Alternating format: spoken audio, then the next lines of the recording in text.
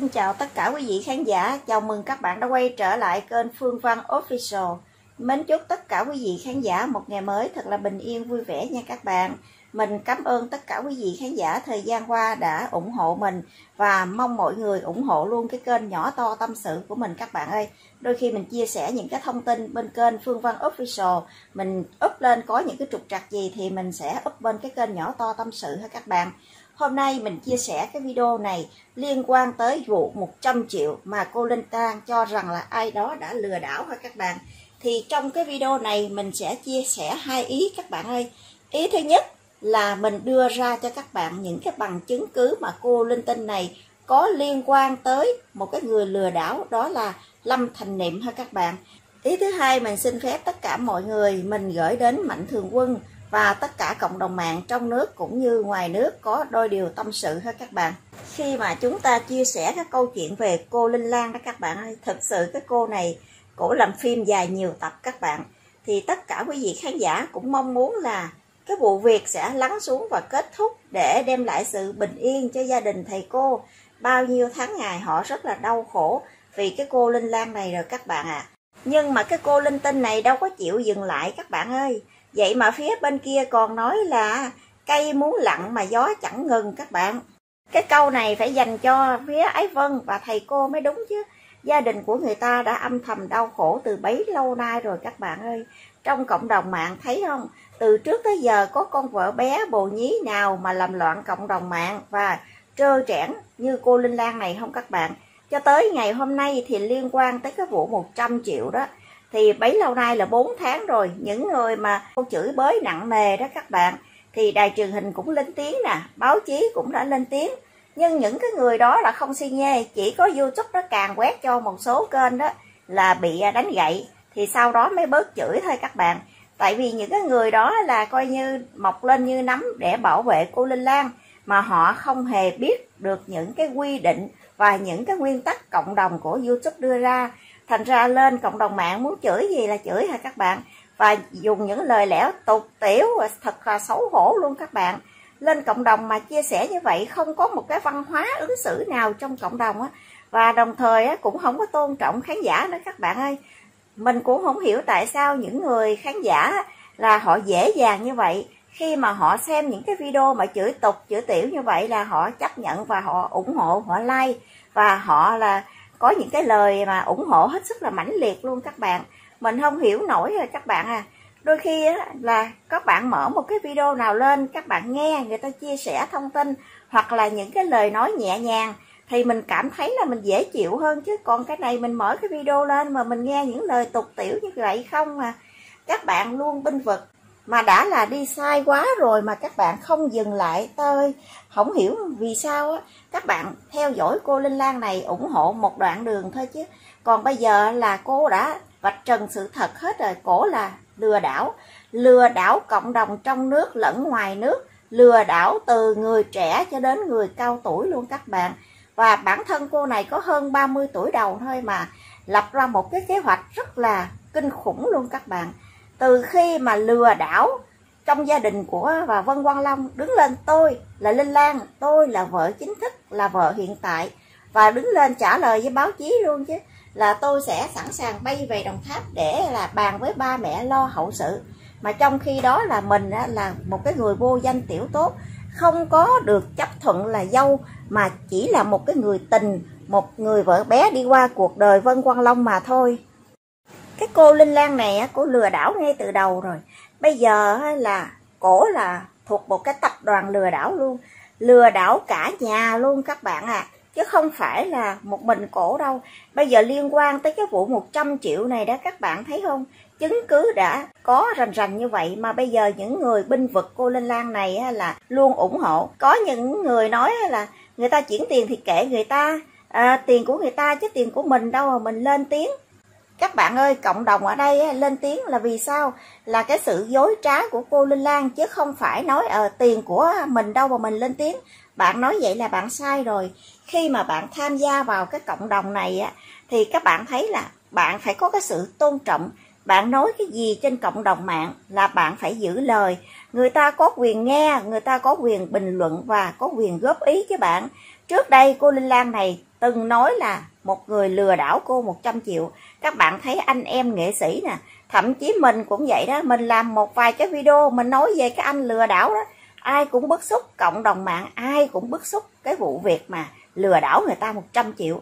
Cái số tiền nó lớn lắm chứ các bạn, mà trong khi đó là Vân Quang Long mới nằm xuống à. Lúc đầu đâu có biết là cổ là vợ bé, bồ nhí gì đâu, mà sau này mới biết là tự cổ đứng lên cổ khai đấy các bạn. Đó, mình là vợ hờ, đại bác bắn không tới, mà mình nhào vô mình rồi là vợ chính thức, vợ hiện tại. Không thấy nhục. Các bạn ơi, những cái con mà tiểu tam, những cái người mà đi giật chồng người khác đó, các bạn thấy rồi. Họ là, họ có cái chiêu lắm. Thứ nhất, cái chiêu về tình cảm thì không nói rồi. Và có cái chiêu khác nữa, họ muốn lấn sân các bạn. Mà thực tế cái cô linh lan này, các bạn thấy lấn sân hơn, muốn làm bà nội luôn chứ làm vợ gì nữa. Đó, ba mẹ chồng thì coi không ra gì. Bây giờ là muốn dìm vợ lớn người ta luôn. Vậy mà đứng lên, bên vực những người youtube bên kia đứng đằng sau lưng chửi rủa quá trời nhiều luôn vậy đó.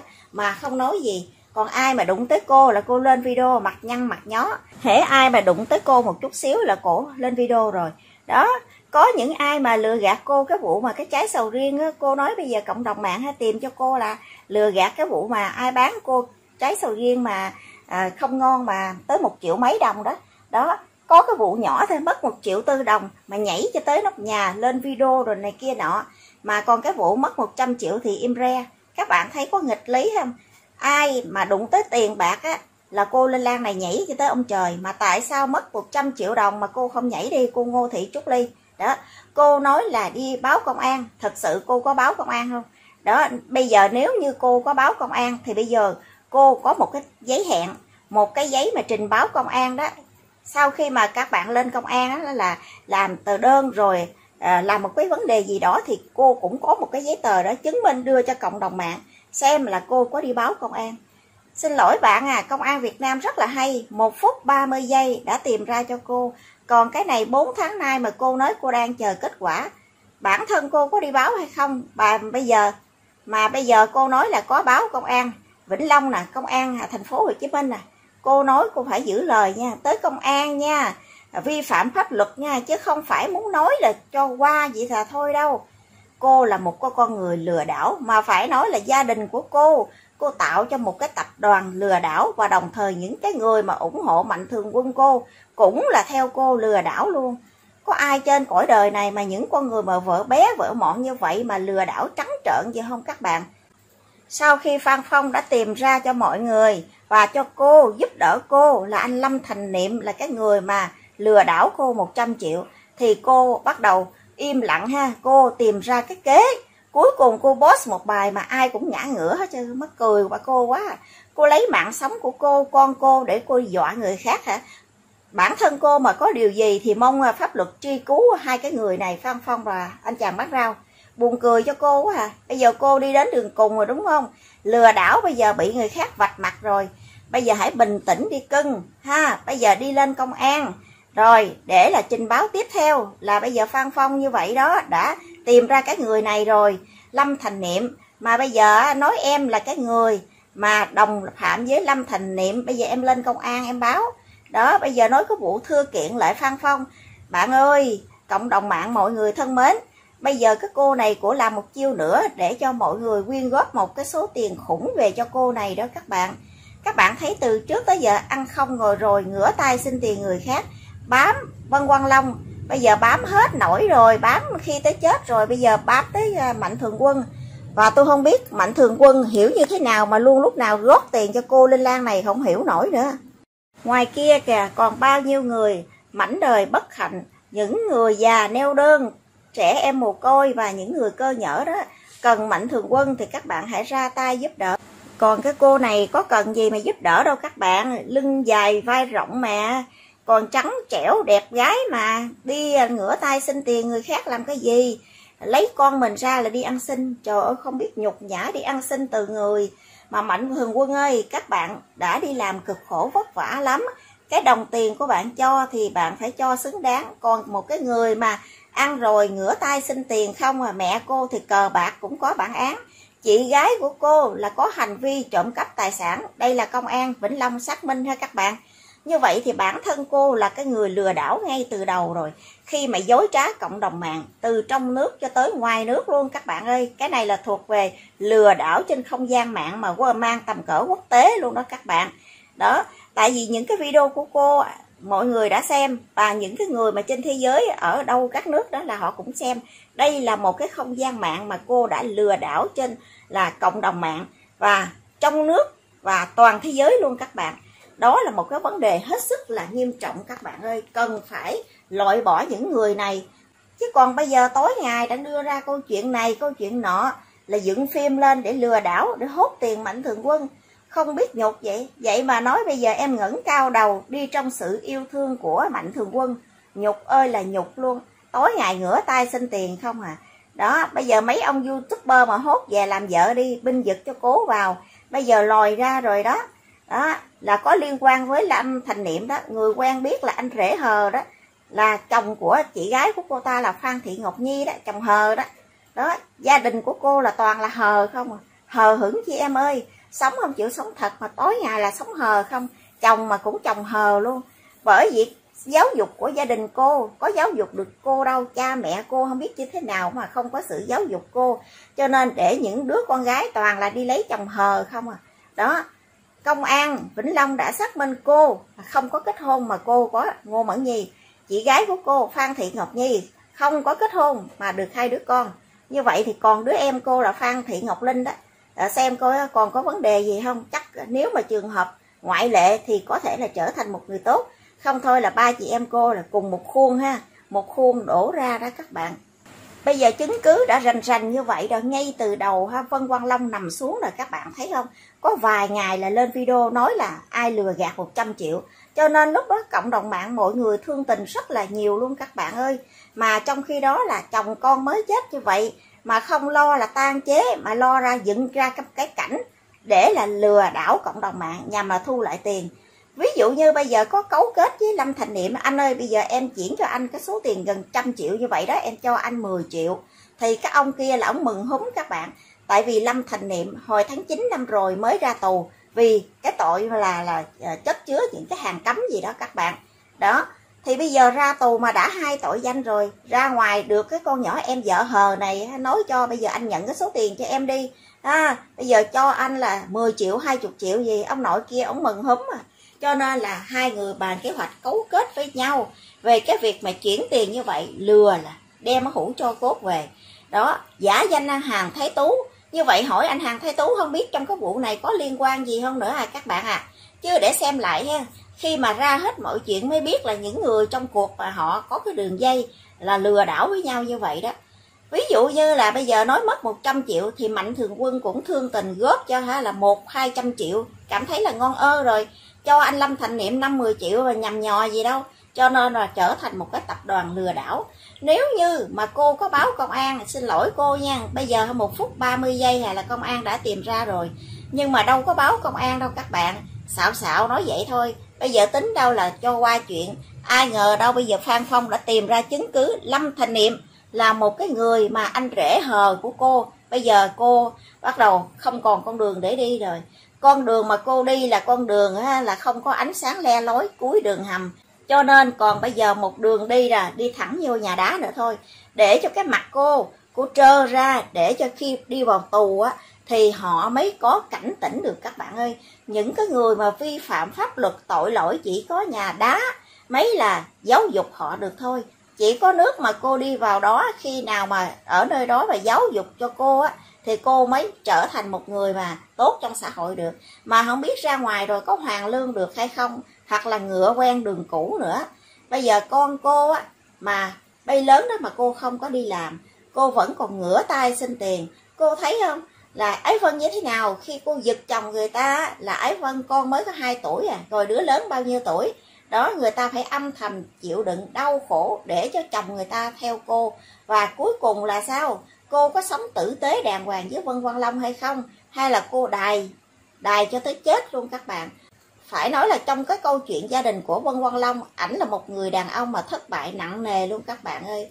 Trong cái cuộc sống này cũng có nhiều người giống như là Vân Quang Long vậy đó. Đi theo bồ nhí, vợ hờ, vợ bé, tới chừng nó đạt đích cho, nó đài cho, rồi cuối cùng quay lại vợ lớn.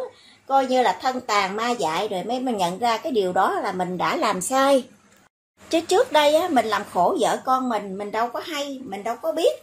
Đó, mà đi theo cái con bồ nhí, cái con linh tinh và vân quang long cũng vậy. Ngay từ đầu cha mẹ đã là cấm cản rồi, cha mẹ thấy không được. Đó, vợ đẹp con ngoan, vợ là bác sĩ mà, nhà cửa có nè. Một bước lên xe hơi, hai bước lên xe hơi, mà cuối cùng là mê con tiểu tam này, rồi là ly dị vợ. Rồi, gia đình tan nát về vườn sống thấy cuộc sống không? Đó cuộc đời mà lên voi xuống chó mà các bạn. Đó anh để lại biết bao nhiêu đau khổ cho cha mẹ anh. Có một thằng con trai duy nhất à các bạn ơi? Bởi vì ông bà rất là khổ. Đôi khi á, cha mẹ đẻ con á, chứ đâu có là dạy được cho nó những cái tính tình của nó đâu. Bởi vì người ta nói là mình sinh con nhưng mà trời sinh tính đó các bạn ơi. Đâu có thể nào mà hiểu được nó đâu. Tới chừng nó lớn lên rồi nó mê gái kiểu đó là cha mẹ nói nó nghe đâu. Đó mà mọi người thấy không? Sau khi mà vân quang long nằm xuống rồi cái cô tiểu tam này cô linh tinh này là quậy nát nước cộng đồng mạng luôn. Lừa đảo coi như là sau khi mà chồng chết được vài ngày à, lên tiktok lên facebook là cười te tét rồi đó. Có buồn gì đâu. Đó luôn lúc nào cũng vui vẻ và lập ra một cái kế hoạch để người khác là cho tiền mình. Và đồng thời cái vụ 100 triệu à, mới mấy ngày nè Vân Quang Long nằm xuống là lập ra một kế hoạch để lừa đảo cộng đồng mạng lừa đảo nhằm hốt thêm được một mớ nào thì hốt. Đồng thời đứng đằng sau những người youtuber mà bẩn thỉu đó các bạn, là đòi đòi tiền phúng điếu và tiền đòi tiền 30 con đất. Bây giờ lấy cái gì chứng minh mình là cái gì mà mình đòi tài sản của người khác vậy bạn? Con của mình đẻ ra không biết phải là con của Vân Quang Long hay không. Ai đụng tới cô là cô lên video. Bây giờ cộng đồng mạng yêu cầu cô đi xét nghiệm là con bé hay lành có phải là con Vân Quang Long hay không? Đâu có dám các bạn những người mà chửi mắng thầy cô đòi 30 công đất đó, làm ơn dắt cái cô này cho đi xét nghiệm ADN thử thôi quên cái mặt lên mà chửi mắng thầy cô như vậy đó các bạn thấy là các bạn không có lương tâm và cái đạo đức của các bạn nó không có đó. không biết trong xã hội này các bạn được sự giáo dục của cha mẹ các bạn nhà trường và lớn lên xã hội cũng là giáo dục các bạn. Mà tại sao các bạn đi lệch hướng vậy? Các bạn tự cho mình lên có cái quyền chửi mắng thầy cô nhục mạ xúc phạm và xúc phạm tới danh dự của một người nhà giáo nữa, gọi là nhà giáo ưu tối. Đó các bạn đi trái ngược với thủ tướng và chính phủ rồi ha. Đó thủ tướng và chính phủ đã đề nghị cấp bằng khen và là phong danh cho một cái danh hiệu nhà giáo ưu tú mà các bạn chửi nhà giáo ưu tối. Các bạn đã đi ngược với chính phủ và thủ tướng rồi. Các bạn tự xem lại cái hành động của mình ha. Một ngày nào đó công an sờ gái các bạn rồi các bạn sẽ rung ngồi đó mà rung đùi ngang cưng chửi thì vên váo chửi cho dữ lắm. Tới cho công an mà hốt cho á thì bắt đầu cúi cái mặt xuống à. Bây giờ nhiều người vẫn còn vên váo chửi mắng đó. Báo chí đã đưa tin, báo pháp luật đã đưa tin, báo người cao tuổi, báo ngày mới online, vân vân. Báo chí ra đầy hết. Mà các bạn vẫn còn u mê. Tôi không hiểu các bạn u mê cái gì. Cho rằng là một đoạn đường đi, mình thấy là là mình binh vực đi. Nhưng mà tới sau này bây giờ là còn cái gì để binh vực nữa các bạn? À các bạn sẵn sàng nói là binh vực cô linh lan, bây giờ lỡ lên phôi rồi, xuống chó không được, đúng không? Đâu có gì đâu các bạn. Cộng đồng mạng và mọi người đều cho các bạn một cái cơ hội để quay đầu. Các bạn thấy trong xã hội này biết bao nhiêu người mà vi phạm pháp luật không? Đó, vào tù ra tội. Nhưng mà ra ngoài xã hội vẫn chấp nhận mình hoàn lương, mình làm lại cuộc đời của mình là không ai bỏ mình đâu. Và chính bản thân cô linh lan này cũng vậy. Cổ bây giờ, cổ đâu có làm lại cuộc đời bây giờ hiện tại là muốn đi làm bé người khác nữa hả gì á? À, không bao giờ nhận ra cái sai trái của mình. Trước đây mình đã lỡ lầm như vậy rồi mình đã sai rồi mình đi giật chồng người ta mình đi làm bé mình phá gia can hạnh phúc gia đình của người khác. Như vậy thì thôi mình biết như vậy là mình đã sai cả đời mình rồi mình quay lại đi mình dừng đi. Đó còn cái này không đâu. Hết làm bé làm vợ hờ rồi bây giờ muốn là lừa đảo để chiếm đoạt một cái số tiền mình nói mình không cần tiền em không cần tiền đâu em không cần tiền. À, tiền ít em không cần nhưng mà tiền nhiều là cần nha các bạn. Đó bây giờ là bản thân cô luôn luôn lúc nào cũng nghĩ trong đầu cái sự lừa đảo như thế nào để gom về cho cô một cái số tiền nhiều như vậy. Bây giờ mình sẽ show ra cho các bạn nha. Những cái chứng từ mà cô này đã chuyển cho Lâm Thành Niệm ngày giờ tháng có ha các bạn. Khi mà cô chuyển tiền ra là cô còn dạy lắm quá dại đi mà cô tính là cô khôn cô khôn bằng 10 lần cộng đồng mạng.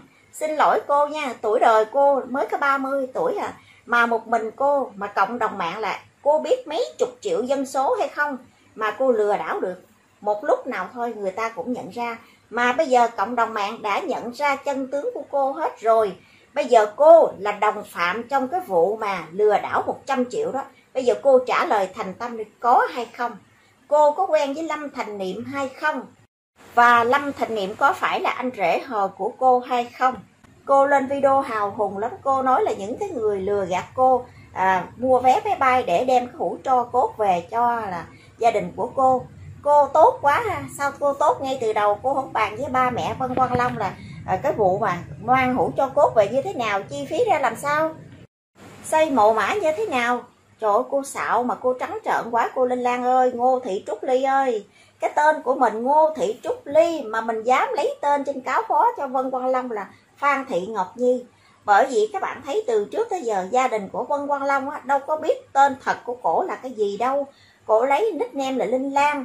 Cho nên là sau khi mà lùm xùm cái vụ mà youtuber chửi mắng đó và tự giả danh là vợ của Vân Quang Long cho nên là công an Vĩnh Long đã xác minh được thân nhân của cô và tự cô lúc đó mới đứng lên khai là, mẹ em có ba người con, đó là lấy họ Phan Phan Thị Ngọc Nhi, Phan Thị Ngọc Linh và cô lọt sổ là Ngô Thị Trúc Ly. May mắn lấy tên được người cha hay các bạn. Đó, bản thân cô và gia đình cô, công an đã xác minh hết như vậy. Mẹ cô là có tiền án về cờ bạc đánh bài nè. Vậy mà đứng đằng sau youtuber dám nói là thầy cô mượn ba mẹ của cô là 250 triệu để đi đánh bài. Đó, cái lúc đó là báo chí mới gọi xác bên cổ cổ nói ba mẹ Vân Quang Long là không có mượn, mà là anh Vân Quang Long mượn mẹ em 250 triệu đồng. Đó. Bây giờ sau đó là bắt đầu lòi ra, có kế hoạch rồi các bạn. Lòi ra là Vân Quang Long mượn mẹ em 647 triệu đồng để mua những cái đồ đạc ở trong nhà vườn. Đó, con mẹ nuôi đại bác bắn không tới, nói là mua ba cái tivi ở trong nhà vườn, bây giờ chuyển về cho nhà thầy cô. Bây giờ con mẹ nuôi đâu, xuất hiện rồi. Bây giờ các cô này cấu kết những người lừa đảo đó, như vậy con mẹ nuôi còn xuất hiện trong cái vụ này nữa hay không? Còn là tiếp tục là ủng hộ cho những người lừa đảo nữa hay không, mẹ nuôi? Mẹ đại bác bắn không tới. Bà là một cái bà già mà phải nói là phải kinh khủng trong cái thế giới này luôn đó các bạn. Một cái người tự xưng danh là mẹ nuôi, vô danh tiểu tốt đại bác bắn không tới ngày chết của Vân Quang Long có xuất hiện cái mặt của bà đâu mà bà nói là bà mẹ nuôi. Có ai biết tới bà đâu? Bạn bè tất cả mọi người, cha mẹ Vân Quang Long, có ai biết tới bà đâu mà xưng là mẹ nuôi? Cái gì thằng Long cũng nói với tôi hết trơn á. Bây giờ là nhiều lần bà nói thằng Long vô nhà, bà nào là mở tủ lạnh lấy đồ, nào là bà cho tiền đổ xăng. Mời mốt á Vân Quang Long nó rủ bà đi xuống dưới để vì tại vì nó thương yêu bà quá mà. Đó cái gì cũng nói với bà, đi xuống dưới đi. Tâm sự với bà dưới bơ mốt, bà đi xuống diêm dương là tâm sự với vân quang long. Vân quang long nó cũng nói với tôi hết. Bà đi xuống dưới đó ha, để vân quang long báo cáo tình hình cho bà tiếp. Cô linh lan này lừa đảo cộng đồng mạng như vậy mà những cái người youtuber còn binh vực, tôi không hiểu binh vực cái gì nữa. Sau này ha bây giờ bắt đầu cô linh lan này bắt đầu cười vô mặt các bạn rồi. Nói, trời ơi, sao mấy người youtuber ủng hộ mình mà dạy như thế?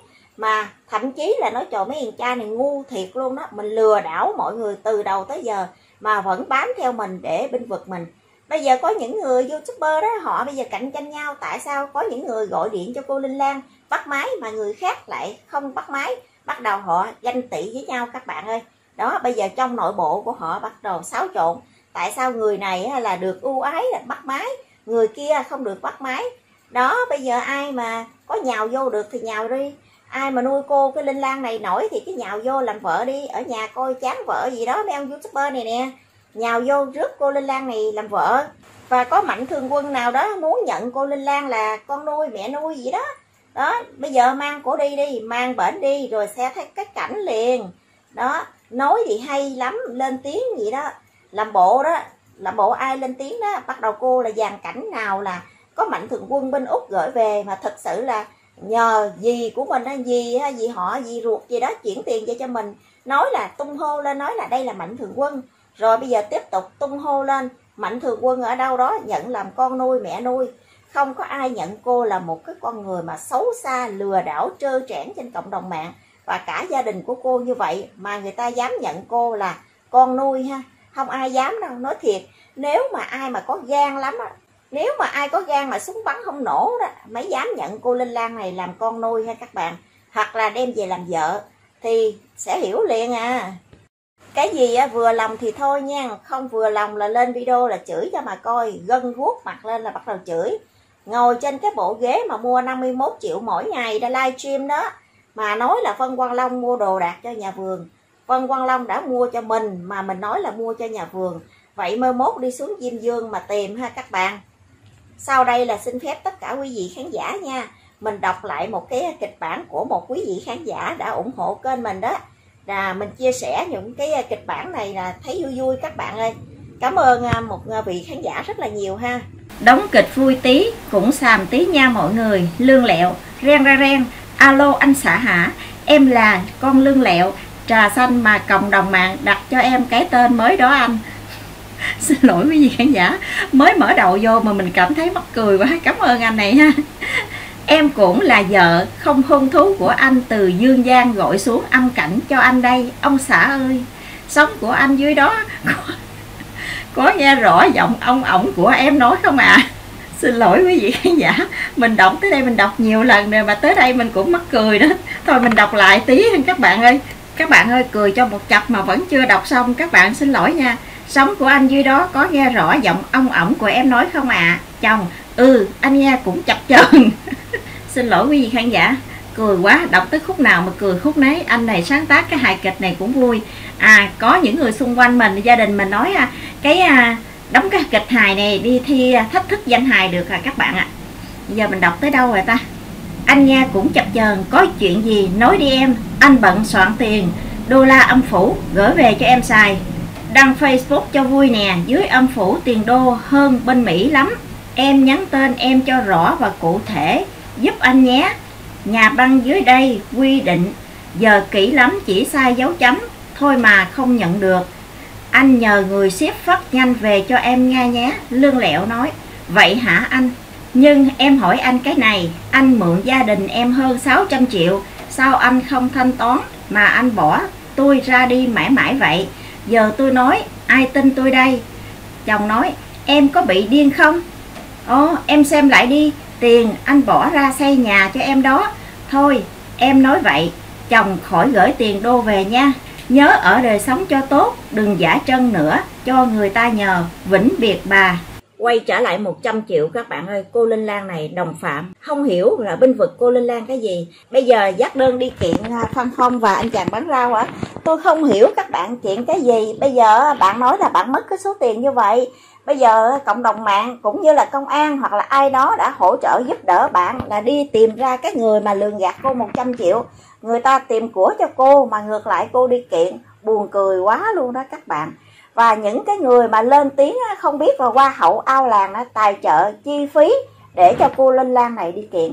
Các bạn thấy không? Những cái người mà chắc có lẽ là cùng hội, cùng thuyền, cùng phe, cùng hoàn cảnh đó, cho nên tài trợ. Bạn ơi, bạn qua hậu ao làng ơi, bạn có thể là đem cái số tiền đó cho những người mà mảnh đời bất hạnh ngoài kia đi. Chứ còn bây giờ là những cái người mà giống như bạn như vậy là đi giật chồng nè. Đó, giống như linh lan đó, đi giật chồng người ta nè rồi làm loạn cộng đồng mạng xã hội nè. Mà bây giờ các người đã tìm ra các người lừa đảo cho cô ấy 100 triệu mà đi kiện cái gì? Cái ông luật sư nào mà nhận kiện thì chắc ổng cũng bó tay. Sau khi mà ổng nhận cái hồ sơ ổng nghiên cứu hết rồi ổng trả hồ sơ lại chứ ổng dám đâu. Nghe cái thông tin nào là hoa hậu áo làng hỗ trợ cho chi phí à, đi à, à, mời luật sư đi kiện? Các bạn khỏi cần các bạn có một cái anh quân sư nào đó ở trong nhóm của ờ, cô Linh Lan đó các bạn. Nói là biết hiểu luật nhiều lắm nào là đi kiện thầy cô, gửi là ở ờ, phòng giáo dục ờ, ở Vĩnh Long nè, rồi công an Vĩnh Long nè, công an Đồng Tháp này vân vân. Ảnh liệt kê ra một số cơ quan ban ngành, ảnh biết lắm rồi viết đơn như vậy đó. Thì anh đó là đi kiện đi. Mấy lần trước nói đi kiện thầy cô rồi, tới bữa nay sao không thấy kiện? Và kiện lại những cái người mà đứng lên là nói xấu cô đó, mà cô có tốt đẹp gì đâu mà không nói xấu trời. Đâu có ai nói xấu đâu, đó là nói sự thật để cho cô hiểu được và cô quay đầu. Nhưng mà bản thân cô rồi quan quan long nói, con nhỏ này mà súng có bắn nó nó cũng không nhận nó là sai. Bây giờ mình sai trắng trợn rồi. Thứ nhất, đi giật chồng người ta là đã sai rồi. Các bạn thấy không? Rồi bây giờ tiếp tục, cái vụ mà lừa đảo 100 triệu này. Bây giờ người ta tìm ra cho mình manh mối cái người lừa đảo mình mà mình đi phát đơn đi kiện, không biết kiện làm sao ta hầu như những cái người này hỗ trợ giúp đỡ cho cô linh lan này để đi trái lại với pháp luật và đi trái ngược lại với cái dòng đời đó các bạn. Không hiểu làm sao đâu vậy mà bây giờ các bạn tung hô lên các bạn mừng lắm. À, mừng cho cô Linh Lan tin vui tin vui cả nhà ơi. Mừng cho cô Linh Lan này được mạnh thường quân hỗ trợ tiền à, đi mời luật sư. Rồi á, ai đó lại quyên góp tiền. Thực sự ra nhá, các bạn thấy là bây giờ kêu gọi cái kênh mà hương radio đó các bạn. Một cái cô này hết sức là là xảo trá luôn các bạn ơi. Trước đây là đã từng là chửi linh lan, hang bóc phốt cô linh lan rồi bây giờ giả danh qua là lấy những cái app gì đó đã đổi giọng của mình, đổi hai, ba lượt giọng. Cho nên là ra cái kênh đó. Và trước đây cô cũng nói là việt nam sử dụng luật rừng. Cô nói thì cô phải nhớ và cái video của cô cô đừng có gỡ. Mọi người cũng download lấy bằng chứng hết rồi. Cô nói việt nam sử dụng luật rừng. Và muốn đi tìm cái anh công an mà đưa ra những cái công văn xác minh nhân thân của cô Linh Lan đó. Như vậy bạn làm gì? Bạn muốn bây giờ đối đầu với công an phải không? Bây giờ công an đưa ra những cái việc đó thì bạn cho rằng là cái việc cá nhân. Nếu mà công an mà không đưa ra thì các bạn thấy là cái cô Ngô Thị Trúc Ly này làm sao mà cổ tự nhận ra Ngô Thị Trúc Ly? Tất cả đều các bạn thấy là không có công an hỗ trợ mà đưa ra những cái danh tính của cổ á, thì cộng đồng mạng nói không lợi cổ đâu. Và cổ là gian xảo dối trá tới lúc nào nữa còn bây giờ là bạn đi quyên góp, bạn kêu gọi cộng đồng mạng để đi hỗ trợ cho cô Linh Lan này gần 200 triệu. Mà chuyển cho ai? Không chuyển cho Ngô Thị Trúc Ly, mà chuyển cho cô em gái của mình là Phan Thị Ngọc Linh. Sao kỳ vậy ta? Ủa, bây giờ bắt đầu xà qua tới là Phan Thị Ngọc Linh nữa rồi. Tiếp tục để làm vợ quan Quang Long tiếp, phải không? Hả, sao? Bây giờ Ngô Thị Trúc Ly thì đem về cho Ngô Thị Trúc Ly đi. Đó đưa cái à, tài khoản cộng đồng mạng ai thương tình thì ai à, là muốn cho nhiêu thì cho. Đó là việc của họ. Ai ngu thì cho, ráng chịu. Đó. Cái đồng tiền mình đi làm cực khổ đó, để mình làm những cái việc khác, nó có ý nghĩa hơn, góp ích cho cộng đồng và xã hội hơn. Còn đi góp cho cái người mà ăn không ngồi rồi là ngửa tay xin tiền như vậy đó, tôi không hiểu các bạn binh vực cái gì. Bây giờ liên tiếp là lừa dối cộng đồng mạng tới nước này mà các bạn còn không hiểu được các vấn đề mà còn quyên góp tiền để cho cô này đi kiện lại. Những người khác kiện phan phong với anh chàng bán rau. Thật là buồn cười. Ở đây tôi không có binh vực ai hết trơn ha các bạn. Ở đây giả sử như phan phong với anh chàng bán rau mà có sai đi nữa, thì pháp luật sẽ xử lý thôi. Và đồng thời cộng đồng mạng người ta cũng quay lưng thôi các bạn. Còn cái này người ta đi tìm ra cho mình mà bây giờ mình đem cái tính mạng mình và con mình ra để mình dọa người khác tôi mà có việc gì thì xin pháp luật hay truy cứu. Xin lỗi à bạn có đi tìm Văn Quang Long đi. Xuống dưới càng sớm càng tốt. Mọi người mừng đó các bạn. Bạn đi xuống dưới với Văn Quang Long, đặng xây túp liều chanh hai quả tim vàng ở dưới đó ha. Xuống đấy, coi chừng Văn Quang Long nói thôi, anh gả em cho Diêm Dương đi chứ bây giờ anh đi xuống tới đây rồi, em đi xuống đây em tìm anh nữa, anh sợ lắm. Rồi các bạn ơi, đây là những cái bằng chứng xác thực mà cô linh tinh này đã chuyển cho Lâm Thành Niệm ha các bạn? Đây là một cái bằng chứng mà chuyển vào ngày à, 31 tháng 12 năm 2020 ha các bạn. Các bạn thấy con người này quá lương lẹo đi. Vân Quang Long mất là ngày 29 tháng 12 năm 2020 thì là tới ngày 31 và bắt đầu cô này lên video rồi các bạn. Chia sẻ rộng rãi trên cộng đồng mạng là em bị người khác lừa em 100 triệu và cái số tiền em chuyển liền. Coi như là Vân Quang Long mà nằm xuống một cái là có cái kế hoạch liền. Còn hơn là đạo diễn nữa các bạn đầu óc cô làm sao nghĩ ra những cái chuyện đó hay dữ vậy ta? Đó, bây giờ cái số tiền này các bạn thấy ha. Chuyển mấy lần? Chuyển ba lần. Mua vé máy bay. Bây giờ mình phóng to cho các bạn xem ha. Lần thứ nhất là 4 triệu nè. Đó. Lẻ 8 ngàn 800 đồng. Lần thứ hai là, cái này là tiền phí 8 ngàn 8 thôi các bạn. Coi như mình đọc chẳng ha 20 triệu đi. Rồi, cái lần thứ ba là 36 triệu. Rồi, các bạn thấy là ghi chú là diễn giải khi mà chuyển cho ai đó là Lan chuyển khoản tiền vé máy bay ở đây là Lan chuyển khoản tiền vé máy bay. Còn chỗ này là phóng to lên cho các bạn xem nha. Đâu rồi? Ghi chú chỗ phần này nè các bạn. Các bạn thấy cái chữ không? Lan chuyển khoản niệm tiền máy bay. Đọc từng chữ cho cộng đồng mạng và mọi người xem cho kỹ nha. Lan chuyển khoản niệm tiền vé máy bay. Như vậy rõ ràng thấy chuyển cho Lâm Thành Niệm đúng không? Mà mình nói ngay từ đầu rồi các bạn à. Khi mà mình chuyển tiền cho ai? Thì cái tài khoản cũng có cái tên. Mặc dù là bạn nói là người đó không đưa cho bạn một cái ờ, tên mà bạn lấy cái số tài khoản chuyển. Xin lỗi Lan ơi trời ơi Lan giống như là à, thời công nghệ 4.0 mà Lan tính là đưa cộng đồng mạng đi vào cái thời mà xa xưa thời tiền sử coi như là chuyển khoản mà không có cái tên chủ tài khoản các bạn. Đó em chuyển cho ai em làm cái gì trên tài khoản thì là chủ tài khoản nó xuất hiện chứ đây, lan chuyển cho niệm nè. Như vậy, đúng trong cái thời điểm đó là cô và lâm thành niệm đã cấu kết với nhau để lập ra một mưu kế lừa đảo cộng đồng mạng. Ví dụ như chuyển là cho lâm thành niệm 100 triệu nè. Ông này mới ra tù mà, bây giờ em sẽ chích cho anh 10 triệu. Ông kia ông mừng húm các bạn à. Rồi cô Linh Lan này sẽ lấy lại là cả tỷ đồng thì sao? Mạnh thường quân ùng ùng quyên góp cho mình à. Như vậy chỗ này, cô Linh Lan trả lời cộng đồng mạng ra sao đây? Và cô có đồng lõa với Lâm Thành Niệm hay không? Thì ở đây tất cả cộng đồng mạng và quý vị khán giả xem các cô này có đồng lõa hay không ha các bạn? Đây là một cái lời bình luận dành cho quý vị khán giả. Bây giờ cô còn giải thích gì với cộng đồng mạng hay không? Bây giờ cô chuẩn bị đi, anh em cô chuẩn bị con đường đi rồi đó.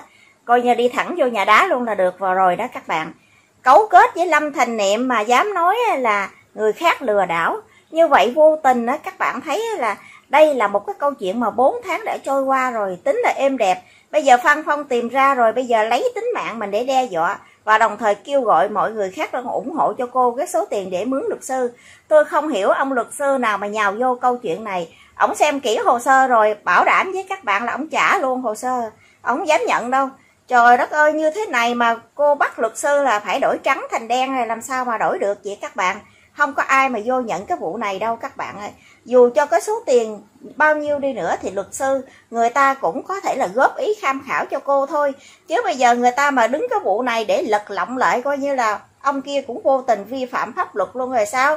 Bây giờ cô cố gắng cô đưa những cái hình ảnh của lâm thành niệm ra rồi anh em đi đầu thú luôn đi các bạn. Bây giờ nên làm lại cuộc đời của mình, bây giờ đi đầu thú là nói mình là trong cái vụ lừa đảo đó. Bây giờ em đã lầm lỡ rồi, em đã lỡ rồi. Em tính hốt tiền của mạnh thường quân. Ai ngờ bây giờ em hốt không được rồi, em lỡ làm mưu kế để là nói là lừa đảo. Bây giờ em là đồng phạm trong cái người lừa đảo như vậy. Cái cô này, cổ nói cổ khôn mà cổ không qua mặt được đâu các bạn. Hai lần đầu cổ chuyển là để là lan chuyển khoản tiền vé máy bay. Lần thứ hai cũng để lan chuyển khoản tiền vé máy bay. Nhưng mà cái lần cuối cùng vô tình để cái tên lan chuyển niệm tiền vé máy bay, em thấy là em có khôn không lan? Đó em khôn nhưng mà em dại lắm. Ngu ơi là ngu luôn mà bảo là khôn trên cộng đồng mạng. Phải nói là một con người như em mà cái đầu của em em làm cái gì em qua được nổi cộng đồng mạng. Thì lúc đầu cũng qua đó qua mặt hết được mấy tháng nay rồi bây giờ không còn qua nữa. Bây giờ lấy cái tính mạng mình ra đe dọa người khác. Mọi người cũng mong em là đi xuống dưới vân quang long để hai người ở dưới là sống là, là xây dựng túp liều tranh hai quả tim vàng đó. Xuống dưới vân quang long ủa em đi đâu vậy? Anh đã sợ em rồi. Anh đã đi xuống tới đây rồi mà em còn đi tìm. Thôi được rồi, anh kiếm cho cận thần nào đó. Anh gả em lại cho anh ấy. Chứ bây giờ anh không dám nhận em ở dưới gì à, âm phủ này nữa đâu. Thôi sợ em. Bye bye em nha. Cộng đồng mạng thân mến, tất cả quý vị khán giả có thể chia sẻ những cái thông tin này, chia sẻ cái video này lan rộng cho mọi người. Để mạnh thường quân ai đó, người ta có thể là xem được, để người ta nhận ra cái điều đó là không sự thật để họ có thể là yên tâm làm từ thiện cho những mảnh đời bất hạnh khác ha các bạn. Đây là một cái vụ mà lừa đảo mà mấy tháng nay các bạn ơi. Bây giờ hy vọng là công an, thành phố công an vĩnh long, nói chung là cơ quan ban ngành sẽ vào cuộc để vạch trần những cái người lừa đảo như thế này các bạn. Lừa đảo cộng đồng mạng, lừa đảo xuyên lục địa luôn các bạn ơi. Phải nói trơ trẽn quá, ngô thị trúc ly ơi còn bây giờ là mời luật sư đi kiện lại những cái người mà tìm ra sự thật cho em. Những cái người mà môi móc em ra, em bảo là người ta môi móc, mà người ta đi tìm cho em mà bây giờ em bảo là môi móc. Bây giờ hết con đường rồi, các bạn ơi, đường cùng, đường nào cho em đi. Còn một con đường duy nhất là con đường nhà đá. Em hãy đi vào đó mà yên tĩnh ha. Vô trong đó, sướng lắm, có công an được bảo vệ, canh gác em hết trơn. Em không có cần lo sợ gì hết trơn á đi vô đó đi mà yên nghỉ ha. Và cái ý thứ hai, xin phép tất cả quý vị khán giả, cộng đồng mạng, mình cũng mong muốn mình chia sẻ cái video này đến cho tất cả quý vị khán giả mạnh thường quân. Chúng ta hãy hiểu rằng cái câu chuyện của cô Linh Lan này nó đã thực tế là như vậy. Thì các bạn có tiền, các bạn ủng hộ cô Linh Lan hoặc là các bạn ủng hộ bất cứ mảnh đời bất hạnh nào đó là cái quyền làm từ thiện cho mình. Nhưng các bạn thân mến, khi chúng ta làm từ thiện thì chúng ta phải hiểu cái hoàn cảnh của người đó là có khó khăn thực sự hay không, hay là họ cần thực sự cái số tiền hay không. Đó, còn bây giờ cái cô linh lan này là một con vợ bé vợ hờ đi giật chồng người khác và lường gạt cộng đồng mạng. Kể cả cái cách cư xử trên cộng đồng mạng cũng không tốt, kể cả gia đình, cha mẹ bên chồng người ta không thương được mà cộng đồng mạng. Các mạnh thường quân thương chỗ nào? Cổ bây giờ lưng dài dai rộng, không có đi làm gì, bám theo trai bám lấy cái đồng tiền để sinh sống. Và tới ngày hôm nay thì tiếp tục ngửa tay xin tiền. Các bạn biết không? Các bạn sinh con ra 4 tháng hoặc là 6 tháng, các bạn đã đi làm rồi. Còn có cô này ăn ngửa tay mà con bé Helen là hơn 3 tuổi rồi mà vẫn không đi làm. Như vậy, các bạn thấy là bạn có cần phải chuyển tiền về để hỗ trợ cô này hay không? Cổ đâu có nghèo khó gì đâu. Tiền cô ấy còn rất là nhiều hàng trăm triệu đồng, ca sĩ chuyển nè, tiền phúng điếu nè, tiền mạnh thường quân cho nè. Như vậy thì giờ cộng đồng mạng là còn quyên góp hỗ trợ cái gì nữa? Mà một con người giả chân dở nghĩa hiện tại là cấu kết với là lâm thành niệm để lập ra một cái kế hoạch là nói là lừa cộng đồng mạng như vậy. Thì thử hỏi các bạn đã hiểu rồi, bây giờ các bạn mong góp tiền để cho cô ấy để làm gì nữa? Các bạn ơi, các bạn có tiền, các bạn có quyền, nhưng mà các bạn làm từ thiện phải nơi nào cho nó phù hợp. Bây giờ, hy vọng các câu chuyện này chia sẻ lan rộng trên cộng đồng mạng để các bạn hiểu được là cái cô linh lan này sống như vậy giả trân, giả nghĩa và lừa đảo cộng đồng mạng để nhằm trục lợi. Cho cá nhân mình như vậy thì cộng đồng mạng hãy suy nghĩ lại có cần gửi tiền hay không. Hiện tại cái kênh hương radio đã là sỉ nhục ha, chửi bới là pháp luật việt nam là sử dụng luật rừng và đồng thời là nói là công an đi tìm cái anh công an mà đưa ra những cái à, văn bản nói về của cô Lan xác minh thân nhân đó các bạn. Và cô này cũng muốn đi tìm công an. Như vậy những người youtuber này nè, đang hỗ trợ cô Linh Lan đó, như vậy hỗ trợ cổ luôn. Đi xuống dưới công an Vĩnh Long á, đi xuống dưới đối chất và tìm mấy anh công an ở dưới Vĩnh Long giùm mình đi. Ở đó có trụ sở, địa chỉ đàng hoàng, tìm là tới liền. Gán đi xuống dưới tìm mấy anh công an ở dưới đó để hỗ trợ cho các cô mà trong hương radio đó các bạn mình là một cái con người là chung tay góp sức để lừa đảo cộng đồng mạng đó.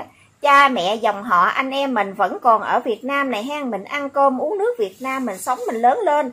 Mà giờ này mình nói là Việt Nam sử dụng luật rừng. Có phải là bạn xúc phạm tới là là pháp luật Việt Nam hay không? Con người Việt Nam hay không? Như vậy con người bạn ở đất nẻ chung lên à? Không phải là con người nguồn gốc Việt Nam hay sao? Bạn đừng có giả danh, giả giọng các bạn, giả chân, giả nghĩa các bạn ơi đó, bây giờ trước khi mình đã nói bóc phốt cô linh lan rồi. Bây giờ mình dùng cái app mình đổi qua hai, ba thứ tiếng để mình mắng chửi gia đình thầy cô. Một mặt khác thì mình nói mình thương yêu anh Văn Quang Long như là anh ruột của mình. Mình hỗ trợ, mình giúp đỡ, mình thương các con của anh Văn Quang Long. Mà trong khi đó mình giả cái giọng qua, cái giọng khác rồi mình chửi thầy cô, chửi gia đình của Văn Quang Long.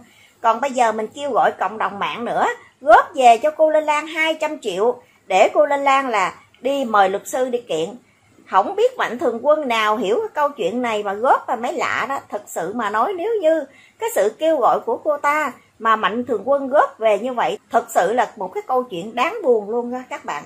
Mạnh thường quân hãy nghe và lắng nghe cộng đồng mạng lắng nghe những gì thực tế để các bạn á, là cho ai thì đúng người và đúng cái hoàn cảnh khó khăn thì bạn hãy cho. Chứ các bạn cho như vậy vô tình làm cho cộng đồng mạng cảm thấy rất là buồn á các bạn ạ. à bây giờ có nhiều mạnh thường quân lắm mà. Giống như bây giờ có hoa hậu a làng nào đó bây giờ hỗ trợ cho cô linh lan đi mời luật sư. Chi phí, toàn bộ chi phí cho luật sư thì cô ấy chịu. Cũng cảm ơn bạn. Chắc có lẽ là bạn đồng cảnh ngộ với cô linh lan này. Cho nên bạn bây giờ bạn mới binh vực cô linh lan như vậy. Thử hỏi đi, trong cộng đồng mạng và mọi người, từ xưa tới nay một con người mà đi giật chồng người khác, làm đổ vỡ hạnh phúc gia đình của người ta, phá gia can như vậy mà các bạn còn binh vực, tôi không hiểu binh vực cái gì. Mai mốt bạn cũng có con trai hay các bạn. Nếu như một ngày nào đó con của bạn rơi vào hoàn cảnh giống như vân quang long như vậy đó, gặp con tiểu tam nào nó đối xử với bà mẹ chồng không ra gì, mà bạn tiếp tục thương yêu, ủng hộ nó, hay là bạn sống dở chết dở với nó vậy các bạn? Những người mà hiện tại bây giờ vẫn còn một cái tư tưởng lệch lạc các bạn ơi, cái đầu óc của bạn có vấn đề, cái não của bạn nó có khuyết tật á khuyết tật tâm hồn thì không nói rồi, bây giờ khuyết tật tới bộ não nữa. Có nghĩa là các bạn không phân biệt ra cái câu chuyện nào đúng, câu chuyện nào sai để các bạn tiếp tục đi lệch hướng như vậy. Thực sự là đáng buồn cho các bạn.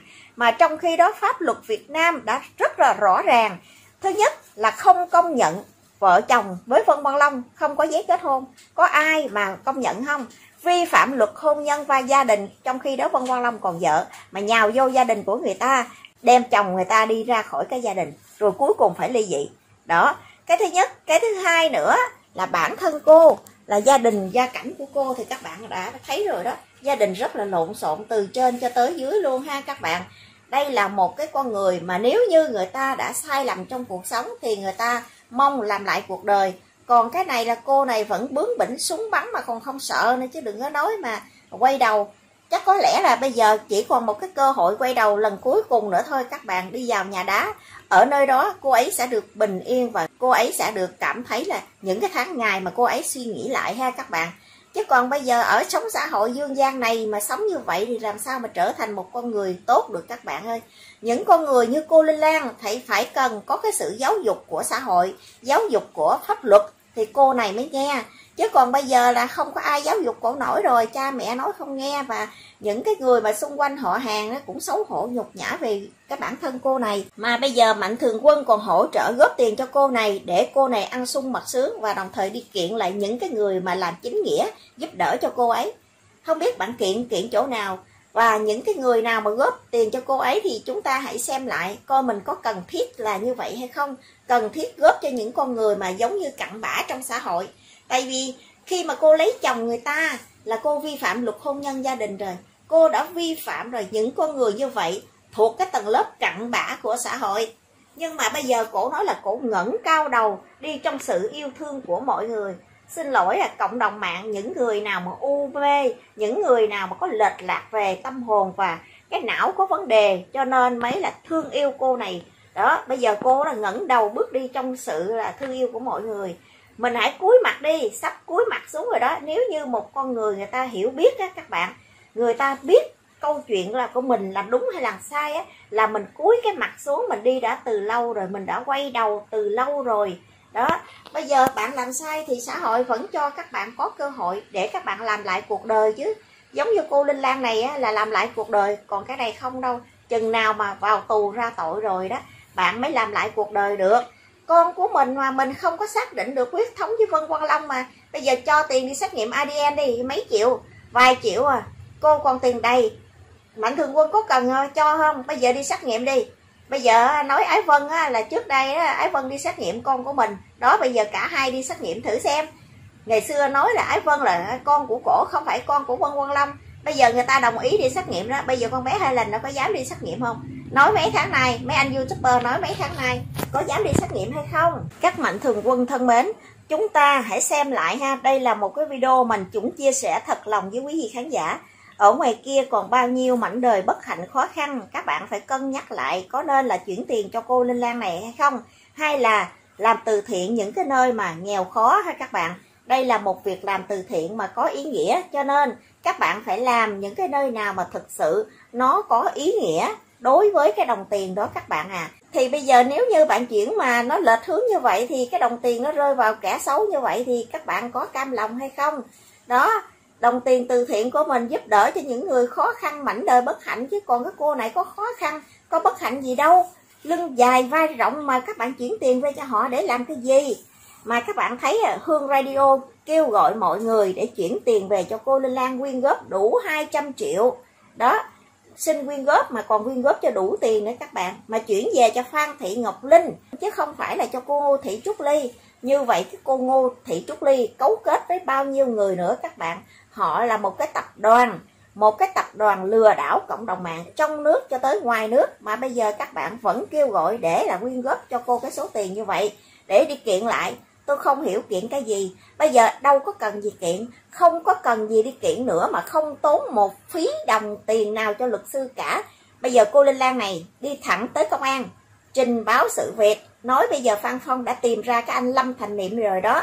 Nói là em là cấu kết với lâm thành niệm. Như vậy thì bây giờ em trình báo công an, em cho thêm công an là những cái thông tin như thế này abcd nè, để công an hỗ trợ giúp đỡ em tìm ra cái người lừa đảo. Em không có liên quan gì tới lâm thành niệm, em không có quen biết. Như vậy để công an điều tra ra cho bạn, đâu có cần gì mà mướn luật sư gì đâu. Trời ơi, mướn luật sư chi cho tốn tiền vậy trời. Bây giờ đi tới công an trình báo vô đi, rồi công an sẽ làm việc cho cô. Đảm bảo với cô ha, nếu mà cô bước chân tới công an là ở bên đó người ta welcome cô liền. Người ta đang chờ đợi cô để đi tới là trình báo sự việc. Mong cô mấy tháng nay rồi mà cô có tới công an đâu cô có tới cái chỗ mà nơi đi làm việc đâu. Cô có tới cơ quan chức năng đâu. Cô có báo sự việc đâu. Bây giờ đi đi không cần tốn một đồng nào cho luật sư. Công an sẵn sàng tiếp nhận hồ sơ của cô. Và mời cô lên đó làm việc. Khai báo những cái thông tin và những cái lời tố giác tố cáo gì của cô trên đó, đó. Cô đi đến đó công an sẽ hướng dẫn chi tiết từ A tới Z. Không cần mướn luật sư. Bây giờ cả các tập đoàn lừa đảo của các bạn á bây giờ lo rung đi. Đó bây giờ trong cái giấy chuyển tiền của cô Linh Lan vào ngày 31 tháng 12 năm 2020 có ghi là chuyển tiền cho Niệm ha, tiền vé máy bay. Như vậy thì bây giờ Lâm Thành Niệm này là anh rể hờ của cô Linh Lan nè. Lâm Thành Niệm là ai? Là một người có liên quan gì tới gia đình của cô hay không? Hỏi cô Ngô Thị Trúc Ly, một con người lừa đảo không gian mạng, lừa đảo cộng đồng mạng, lừa đảo quốc tế luôn. Các bạn thân mến mình cũng như là tất cả quý vị khán giả cộng đồng mạng cũng mong muốn công an vào cuộc để dẹp loạn những cái người mà họ cấu kết với nhau, họ trở thành một cái tập đoàn lừa đảo cộng đồng mạng, lừa đảo mọi người trong nước cũng như là ngoài nước ha các bạn. Đây là một cái câu chuyện hết sức là đáng buồn các bạn ơi, liên quan tới pháp luật. Không những về đạo đức của con người mà là liên quan tới pháp luật nữa các bạn à. Đây là một cái câu chuyện mà phải nói cộng đồng mạng cũng hãy công tâm chúng ta hãy nhìn nhận lại một cái vấn đề nào đúng, vấn đề nào sai, để chúng ta phân biệt được những con người tốt và xấu trong xã hội này ha các bạn. Thôi thì chúng ta hãy tiếp tục theo dõi những cái video và chờ đợi những cái tin tức mới ha các bạn. Xin phép các bạn mình dừng video ở đây. Một lần nữa xin chân thành cảm ơn tất cả quý vị khán giả rất là nhiều. Tạm biệt, hẹn gặp lại video sau.